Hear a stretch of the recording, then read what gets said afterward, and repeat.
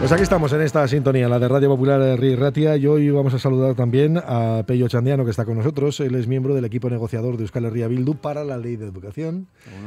Pello, ¿qué tal?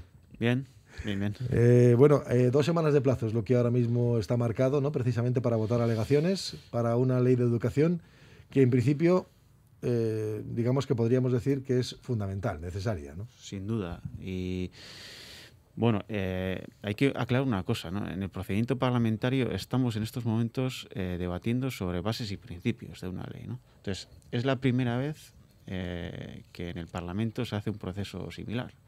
la primera vez que se hace un proceso deliberativo entre los partidos políticos para discutir, de, hacer un proceso deliberativo para fijar un poco las bases y principios de lo que en un futuro puede ser una ley, porque la ley o los proyectos de ley los hace el gobierno, los remite al Parlamento y se discuten en el Parlamento. En este caso estamos haciendo un proceso previo.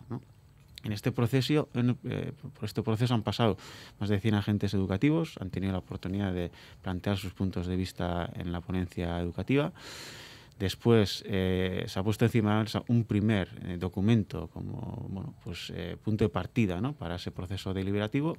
Los agentes educativos que han participado en la ponencia han tenido oportunidad de hacer aportaciones. Los partidos políticos hemos hecho enmiendas a ese texto y en, esto, en estos momentos, eh, todas las enmiendas están encima de la mesa y lo que el plazo de, dos semanas que tenemos eh, delante es para eh, discutir, debatir y acordar, transaccionar esas enmiendas y ver qué pacto educativo es posible. ¿Cree que el pacto educativo es posible? Voy a utilizar ya eso mismo al final. el pacto educativo, nosotros hemos dicho que tiene que ser posible. debe ser posible es, porque es importante, o sea, es muy importante fijar las bases eh, para la construcción de un ciclo largo de la educación vasca. Nosotros venimos apuntando desde hace tiempo que este país necesita de, pactos sólidos, de poner bases sólidas en aquellos ámbitos eh, que son cruciales en la construcción social y política de este país. Y, la educación es, es, uno de esos ámbitos. ¿no? Eh, el modelo no es España, eh, que cambia de ley cada cuatro o cinco años. ¿no? Y no hay manera de saber de, cuáles digamos, los programas que están en vigor en un momento determinado.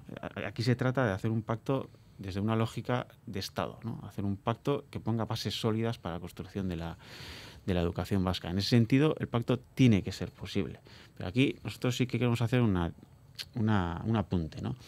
Una cosa es un pacto de gobierno, el pacto de gobierno ya está hecho, entonces el PNV y el PS pues, pueden tener eh, puntos de encuentro y de hecho en, esta ponencia pues, han hecho enmiendas conjuntas. Pues una cosa y otra cosa es un pacto eh, educativo. Un pacto educativo es un pacto político. Es un pacto político que a nuestro entender eh, se debe eh, construir entre eh, todas las fuerzas políticas que han manifestado interés de participar o de, estar en ese pacto. Y, somos cuatro las fuerzas políticas que hemos, en principio, manifestado nuestra predisposición a, participar en un pacto de estas características. Somos el Partido Nacionalista Vasco, EH Bildu, el Partido Socialista y el Carrequín Podemos. Entonces, en este proceso parlamentario estamos efectivamente tratando de hacer un proceso deliberativo entre los partidos políticos. Entonces, aquí hay que transaccionar enmiendas entre todos los partidos políticos. Nos tenemos que eh, encontrar eh, todos con todos y tenemos que compartir ideas, discutir, debatir y acordar entre todos y todas. Entonces, para nosotros ese apunte es importante. Este pacto es un pacto político, se tiene que construir o se tiene que tratar de construir entre todas las fuerzas políticas que hemos manifestado interés en, estar en este pacto. Por lo que ha visto en la propuesta, ¿dónde están las grandes discrepancias con Euskal Herria Bildu? Eh, la propuesta del PNV y PS, las enmiendas del Bueno, la gran discrepancia, evidentemente, es la noticia que ha saltado este fin de semana en torno a las tres lenguas vehiculares. ¿no? Pero aquí también bueno, ha, ocurrido una cuestión bastante peculiar, porque las enmiendas eh, pactadas entre H. Bildu y el PNV no dicen que las tres lenguas son vehiculares esta es una interpretación que hace el PS de esa enmienda. Ayer fue el día en que eh, el día en que se reunió la ponencia para que cada parte explicara, expusiera eh, cuáles son las enmiendas que ha, que ha planteado, ¿no? Y nosotros pedimos aclaración y evidentemente eh, hay opiniones dispares entre ellos. La enmienda, en su literalidad, no dice que las tres lenguas son vehiculares. Entonces es una cuestión que la tienen que aclarar ellos. ¿no? Eh, evidentemente nosotros no estamos de acuerdo con ese planteamiento. Nos parece, además, que no, desconocemos en qué consiste esto de que las tres lenguas son vehiculares. O sea, es una cuestión bastante eh, peculiar, ¿no? ¿Esto qué quiere decir exactamente? Esto es una especie de modelo PAI a la Navarra. Esto es que se añade un cuarto modelo con el inglés como lengua vehicular. ¿Esto realmente qué es? Eh, esto es la impresión o la intuición que tenemos es que José Antonio Pastor, para cuando sale en rueda de prensa a plantear que las tres lenguas son vehiculares, no tiene mucha idea de lo que dice. Eh, es la impresión, que le han dedicado muy poquito tiempo a la ponencia educativa en los, últimos siete meses. En cualquier caso, para nosotros eso es un planteamiento absolutamente regresivo en términos pedagógicos. Eh, muy por, por, detrás de lo que de lo que se pactó hace escasamente dos años en Madrid con la con la LOMLOE con, con referencia al catalán eh, por lo tanto, nosotros bueno, estamos un poco perplejos con esta, este planteamiento que acaba de hacer el Partido Socialista. O sea, que ustedes irían a la fórmula inicial que había propuesto el Partido Nacionalista Vasco de el euskera como lengua vehicular. Bueno, aquí lo que, lo que el debate que entendemos que hay que hacer, y nos parece que ese es un poco el espacio de reflexión que ha habido en la ponencia los últimos siete meses, es, eh, en primer lugar, cuáles son los objetivos que nos marcamos. Y en, ese sentido, nosotros entendemos que hay un gran consenso en el país, que es que los objetivos que se planteaban en la, ley de la escuela pública eh, están vigentes y, los tenemos que reafirmar los objetivos. ¿Qué es, cuál, es eh, ¿Cuál es ese objetivo? Que todos los alumnos alumnas que acaben la escuela obligatoria manejen las dos lenguas, ¿no? que tengan por lo menos eh, alcance los perfiles lingüísticos B2 del marco de referencia europeo. Eso nos lleva a una sociedad plurilingüe. Entonces, eh, eso nosotros entendemos que ahí hay un gran consenso. Entonces, tenemos la experiencia de los últimos 30 años con los modelos lingüísticos y sabemos que ni, el modelo A, ni el modelo B, ni tan siquiera el modelo D en muchos casos alcanzan, llegan a alcanzar esos objetivos. Entonces, aquí hay que hacer una revisión en profundidad, ver qué es lo que funciona, qué es lo que no funciona y ver qué, cambios o qué, modificaciones hay que hacer en el sistema. Entonces, nosotros entendemos que hay que transitar hacia un modelo plurilingüe con el euskera como eje eh, vertebrador de ese modelo. Eh, ese planteamiento se tiene que basar en eh, proyectos lingüísticos adecuados a las realidades sociolingüísticas de los centros educativos. Por lo tanto, estamos hablando de un modelo flexible, estamos hablando de un modelo asimétrico pero que eh, disponga de los medios y, las metodologías y, los recursos suficientes para que, los centros educativos puedan, desarrollar esos proyectos lingüísticos y alcanzar los objetivos que plantea la ley. Entonces eso no tiene absolutamente nada que ver con, eh, con, un planteamiento eh, del, tipo que ha planteado el Partido Socialista. Eso de las tres lenguas vehiculares, sí. Bueno, ya preguntaremos entonces a ver exactamente cómo se concreta también ese asunto, si es cierto, ¿no?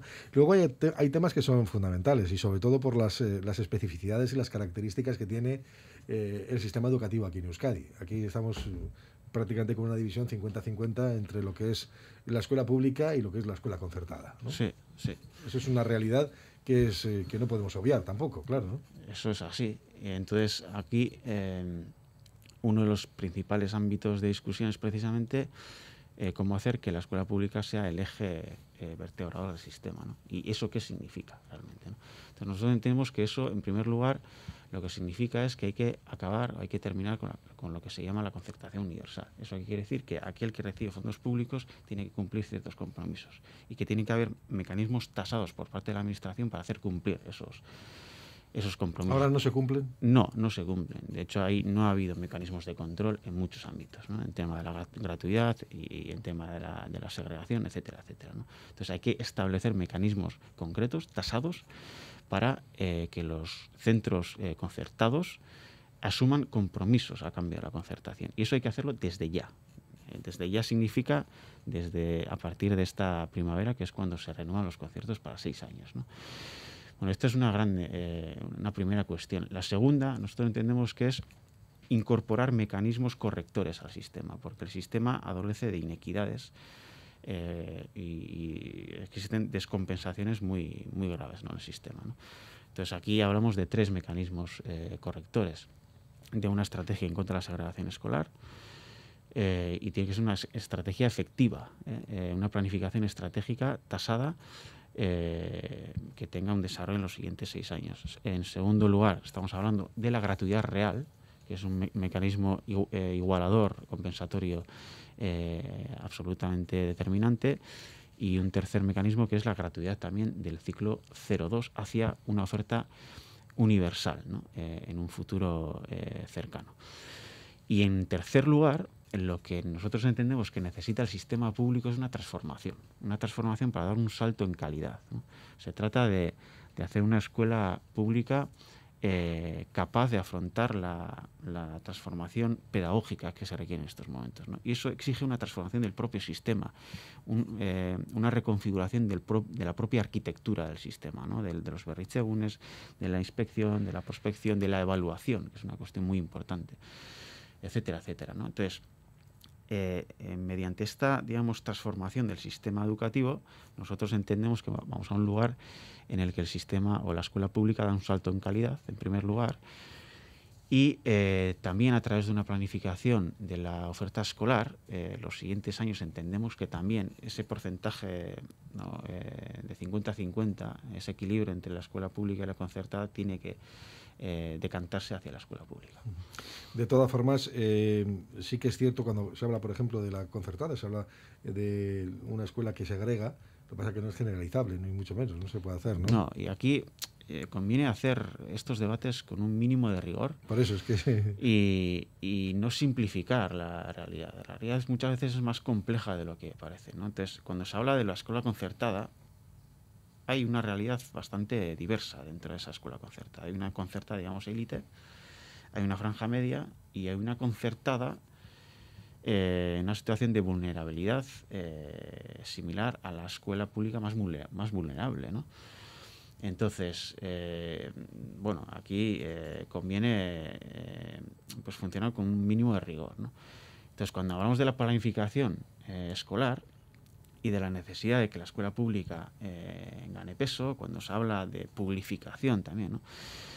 Eh, bueno, estamos ante una bajada demográfica muy importante, muy importante. Se acaba de cerrar el plazo de matriculación y, la realidad de muchas escuelas públicas, pero también de muchas escuelas concertadas, y en, primer lugar, las escuelas que en, una situación más vulnerable están en cuanto a matriculación son las son es determinada concertada.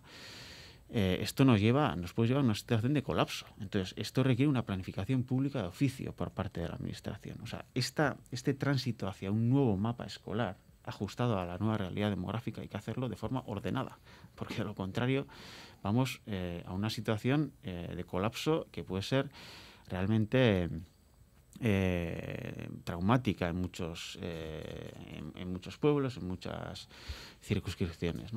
Entonces, esto exige una planificación pública de oficio por parte de la Administración y lo que tenemos que pensar es qué escuelas eh, necesitamos, qué tipo de escuelas necesitamos, dónde las necesitamos y, cómo hacer para que el día de mañana tengamos un mapa escolar ajustado a la nueva realidad. Sí, porque es que nos podemos encontrar con que no se van en breve no se van a cumplir ratios para configurar, por ejemplo, clases, ¿no? Eso es. Y, eso, esas clases se van a tener que cerrar. Estamos en esa situación ya y, eso eh, va a ir incrementando conforme vayamos, eh, vayan pasando los años, ¿no? Entonces aquí eh, cuando nosotros decimos que hace falta un pacto educativo, y desde determinados sectores se nos ha dicho que tampoco hay necesidad de ello, nosotros apuntábamos a que hay como tres grandes amenazas eh, en, perspectiva. La primera es la bajada de la natalidad, lo cual eh, nos lleva a una situación, como se ha mencionado, de, colapso de, muchas escuelas. ¿no? en muchos centros educativos, hablamos de la segregación y hablamos también del retroceso que se está experimentando en la euskaldunización. Entonces, esto eh, requiere de un pacto de, Estado y tenemos que ser capaces de ponernos de acuerdo en las bases fundamentales para acometer esta, eh, esta transformación y dar respuesta, una respuesta positiva a esta situación. ¿no? Porque la bajada demográfica también es una oportunidad.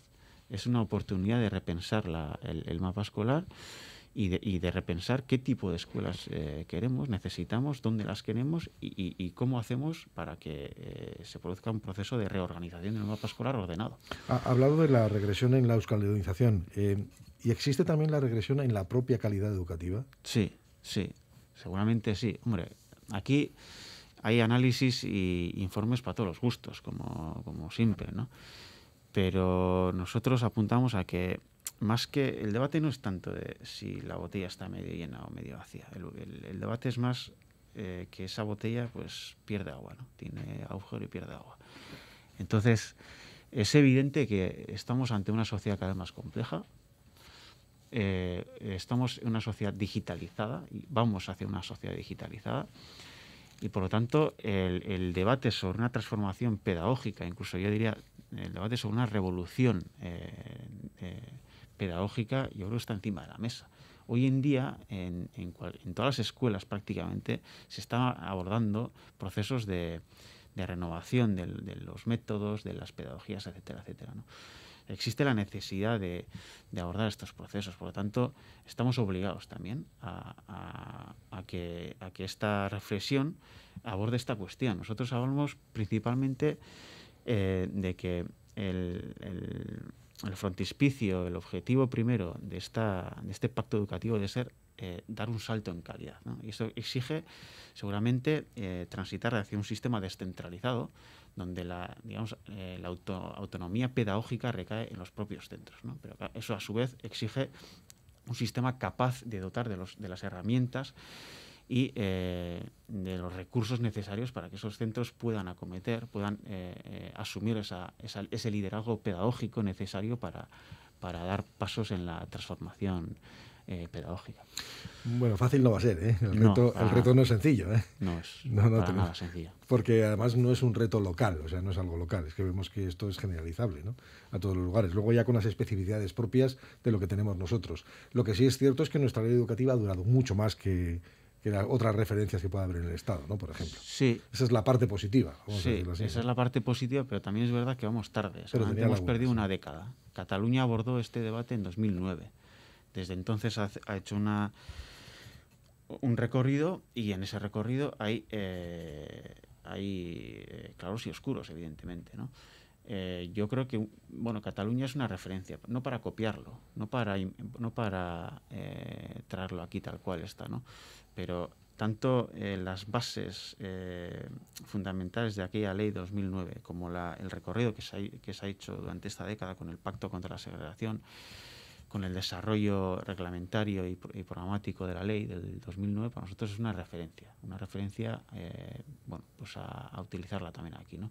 Pero es verdad que hemos perdido una década. En esta década se ha producido una bajada demográfica, se, está, se ha producido esa bajada demográfica, hemos tenido también la eh, el incremento de, los flujos migratorios, por lo tanto, estamos en una situación eh, que, requiere de una actuación urgente. No tenemos mucho tiempo, ¿no? Entonces, yo creo que vamos tarde. Entonces, se trata de, digamos, acompasar en nuestro debate educativo a la, al momento y a las circunstancias actuales. Bueno, pues vamos a ver cómo van a ir estos debates, estos encuentros ahora mismo entre las formaciones políticas y veremos todo ese proceso y al final a ver si se alumbra realmente una, una ley de educación lo más consensuada posible. Eso sería lo bueno. Eso es lo bueno, eso es lo deseable y, nosotros vamos a trabajar y vamos a hacer todo lo posible para que eh, eso sea así, ¿no? porque mm, poner eh, cimientos sólidos o bases sólidas para para un ciclo largo significa que tiene que haber un pacto político, en primer, pero también un pacto social.